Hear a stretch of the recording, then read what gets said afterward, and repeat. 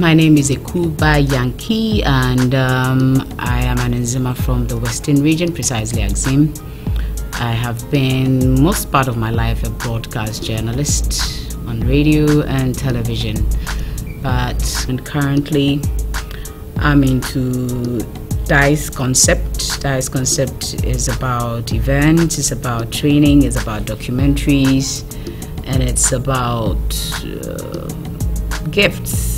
Gifts for all occasions birthdays, weddings, anniversaries, naming ceremonies, everything you want us to provide gifts for, we do for you. But the most important thing that occupies my life most of the time is what I call nurturing future today dealing with adolescents between the ages of 13 to 19, 13 and 19, talking to them about discipline, nationalism, patriotism, making sure they find the right role models, making sure that in their formative, what we call the most difficult time of their lives, where they form their decisions and before they get into the tertiary education, they are taught what should be their basis for life.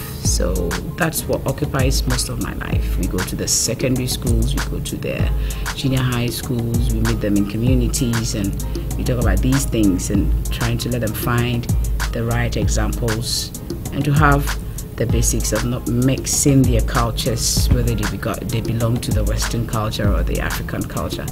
Just to let them have uh, the basics in life that would help them propel into responsible adults. So basically, Nurturing Future today is what occupies my life most. But otherwise, DICE concept also gets into some businesses.